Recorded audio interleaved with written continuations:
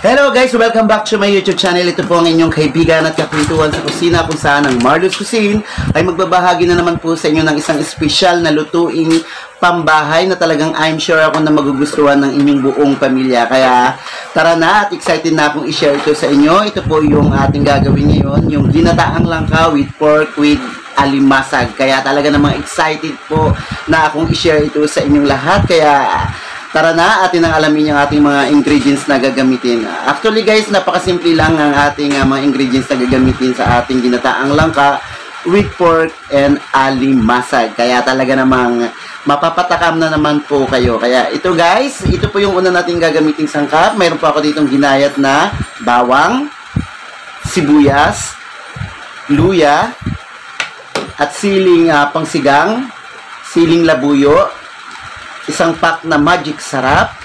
And gagamitin po ako dito ng liempo. Ayan, kung saan ay uh, maganda po yan sa ginataang langka dahil nagbibigay po yan ng oil doon sa ating ginataan. And syempre, hindi mawawala yung ating pinakamasarap na sahog, yung aling masag. Ayan.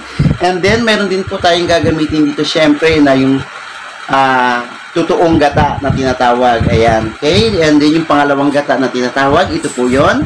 And meron po tayo ditong gagamiting langka. 1 kilo po ito. And then, uh, uh, nalinis ko na po ito sa malinis na tubig na may asin at suka. Nilagyan ko po. And then, mamaya, ang proseso niyan, ipapakita ko po sa inyo kung paano ako gumagawa nito. Kaya, tara na.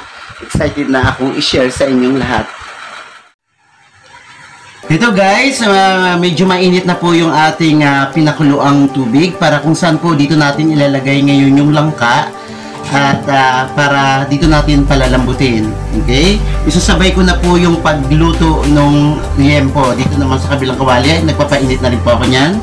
Okay guys, ilalagay ko na po itong ating uh, langka dito sa kumukulong tubig kung saan ay atin siyang palalambutin dito. Ayan.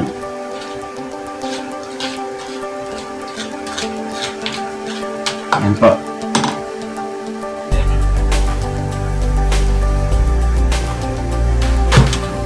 Kaya kung napapansin niyo po guys, pakukuluan lang natin dito yung langka kung saan palalambutin natin. And then pag uh, nakuha na natin yung tamang uh, lambot, ay itatapon natin itong sabaw. Okay? Yung pinagpakuluan sa kanya. Okay? Yan, siguro mga uh, almost 15 minutes nating uh, pakuluan.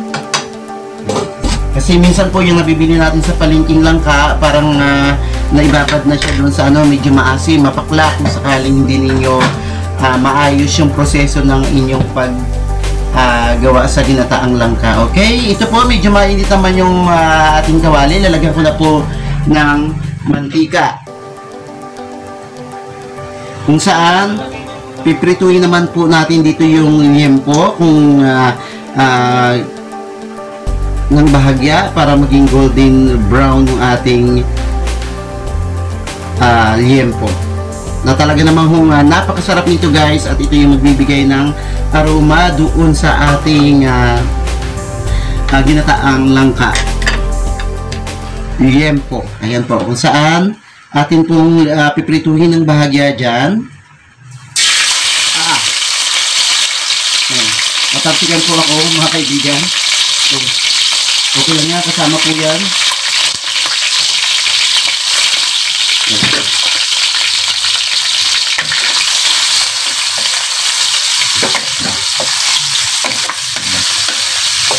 Tingnan nyo kung gaano kasarap yung ating uh, ginagawa ngayon. Ganyan.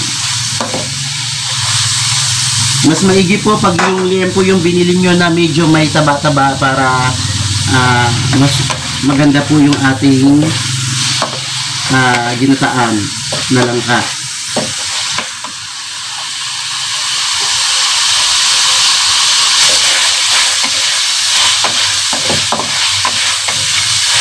Mahirap pala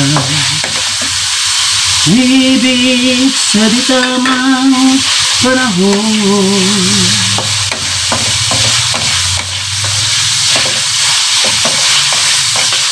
Kung bakit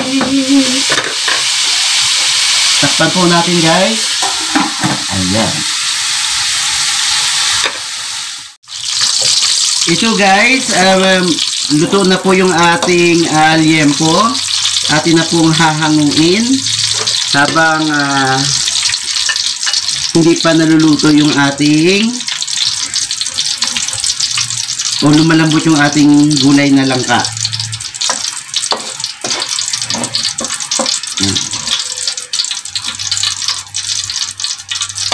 Yan. Kung nakikita nyo guys, nag golden brown na yung ating liempo. Napalabas na natin yung kanyang uh, mantika. Yan po yung uh, isa sa magdadagdag lasa sa ating ginataang langka. Kung saan, dito rin po natin gigisayin yung iba pang sangkap sa pinagprituhan natin sa kanya para naman talagang uh, walang tapon. Ito na po yung ating liempo. Okay? Atin pong uh, chichikin yung ating uh, pinapalambot na langka. Ayan. Okay na po yung ating langka guys. Kung mapapansin nyo po, ayan o, oh, medyo luntotoy na. Ayan. Atin na po siyang i-drain naman ngayon para uh, masimulan na natin yung ating pag-isa sa iba pang mga sangkap para sa ating ginataang langka. Ayan po. Ito guys, atin na pinainit ulit yung mantika no, kung saan dito natin pinirito kanina yung liempo at uh, tayo po ay magigisa na po ng ibang sangkap. Okay, una, una pong ilalagay ay bawang.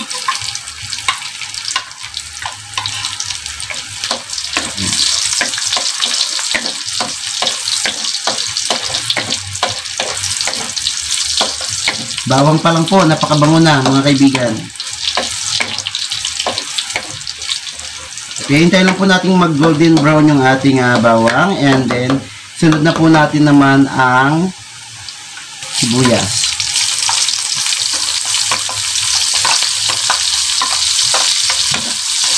natin yung ating luya. Yan.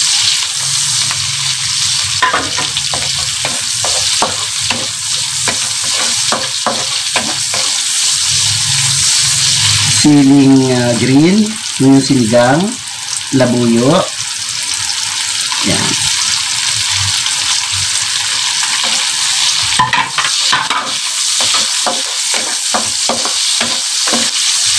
Yan, haluin lang po natin. And after 1 minute, ilagay na po natin yung ating alimasag. Ayan. Napakamalo ng alimasag, kaya tatlong piraso lang po yung aking nabili mga kaibigan. Uh, dagdag pang palasa lang po sa ating uh, ginataang langka. Ayan.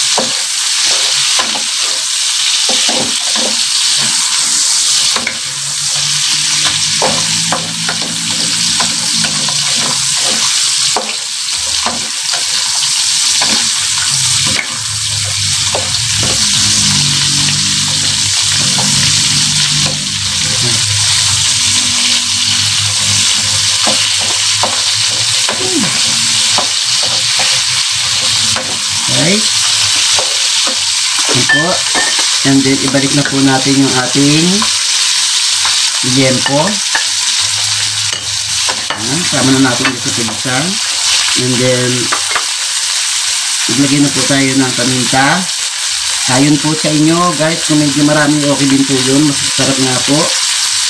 And, kunting patis lang po. Mga dalawang kutsara lang po na patis ang ilalagay natin. Simit nyo na lang po sa inyong pandasa. Sarap.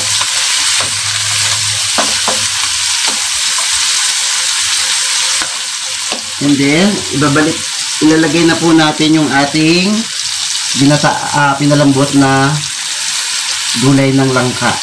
Ayan. Talaga naman pong panalo.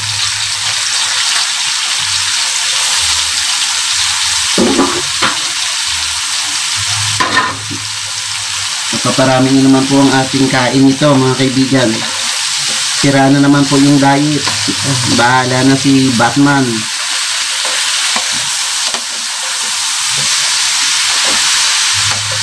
Napakabango po mga kaibigan.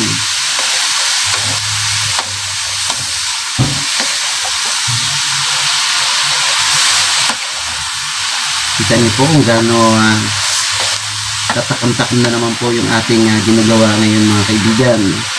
Yung mga mami dyan, uh, o yung mga daddy dyan na gustong uh, matutunan tong version ko, ay abay, try nyo na. Hindi na po kung patagalin. Diba? Bigay na rin po natin yung ating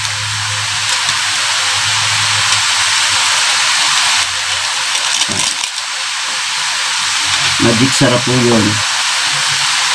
And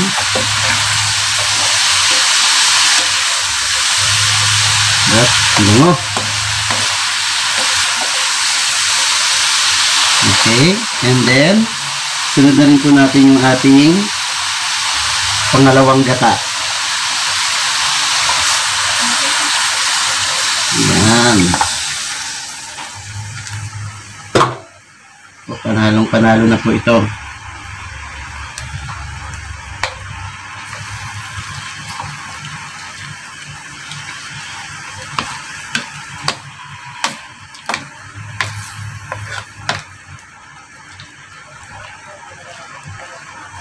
Okay guys, papakuluin pa natin siya ulit dito ng mga siguro uh, mga 2 to 3 minutes po.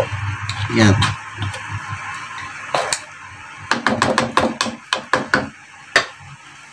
Atin pong uh, tatakpan muna mga kaibigan. Balikan natin after 3 minutes. Guys, atin na namang i-check kung ano nang uh, resulta ng ating uh, pagpapalambot pa rin sa gulay na langka. Ayan po. Surprise! Wow! Tingnan nyo ho.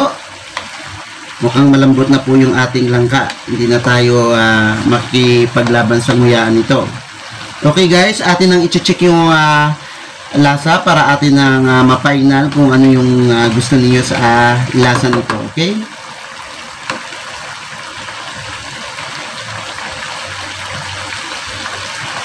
Atin pong tikman.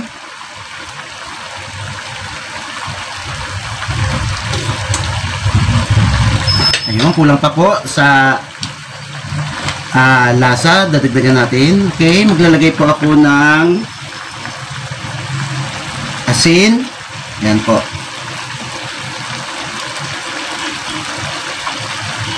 And maglalagay din po ako ng dalawang uh, kutsarang suka. Ayan. Po mga kaibigan.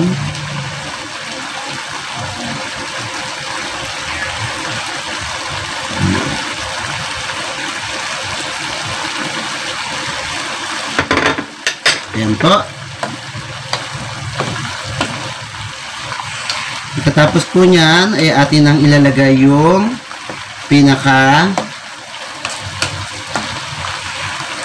totoong gata na tinatawag. Ito po yon. Okay? Wow!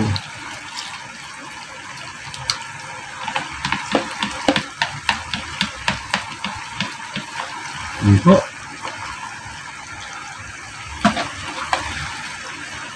Sigurado na naman ang kanin ito. At syempre lahat sa eating portion na naman po ni Marlos Cuisine.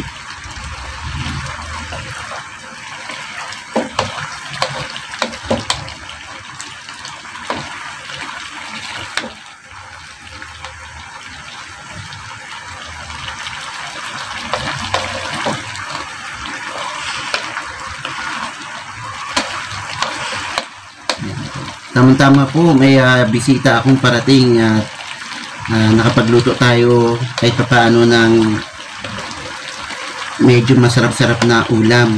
Okay?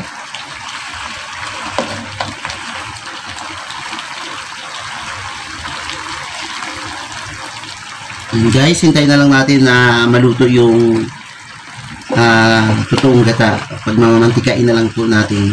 Okay? Atin na pong titikman ulit.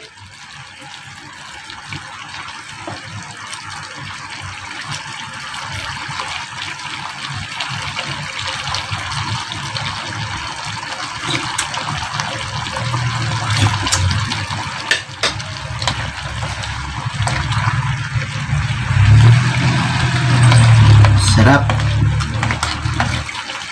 Sarap. Atin pong dagdagan ng kunting asin pa po.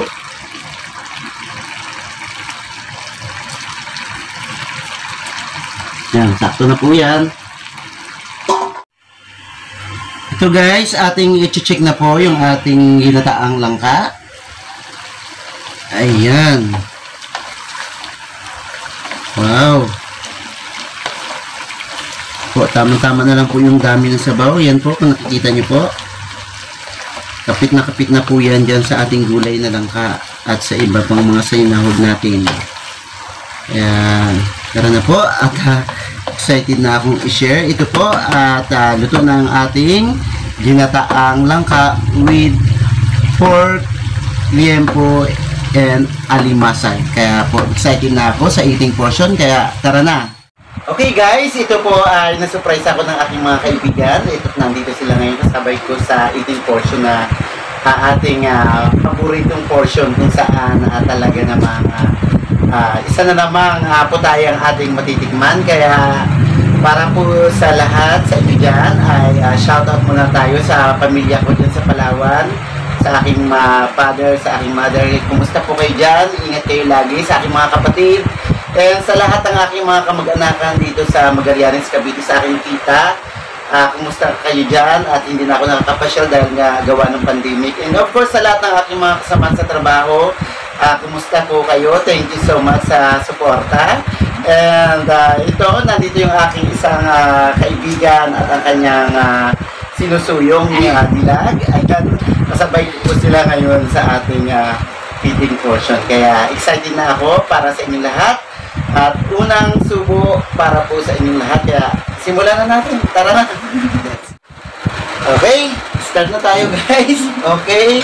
Nakakuha na kayo ng inyong ulam. Ayan, nakakuha na po sila. Ako na lang po ang hindi. Kaya kuha na rin po. And sa lahat po ng uh, bago sa channel ko, please don't forget to subscribe and like and uh, para naman po ma-update kayo sa mga next uh, uh, i-upload ko ng mga videos para po sa inyo. Kaya, yan. Excited na po akong tikman. Okay. Unang subo po para sa inyong lahat. At sa aking mga kasama dito sa ngayon sa table ko. Mm. Guys, uh, don't forget to uh, follow my YouTube channel at sana panoorin niyo yung uh, buo kong video hanggang sa huli, simula hanggang huli. Kaya para ho makuha nyo lahat o mag-guide kayo dun sa mga ingredients na ginamit ko para po sa ating uh, uh, niluluto para sa inyo lahat. Kaya thank you guys. Thank you for watching. Bye!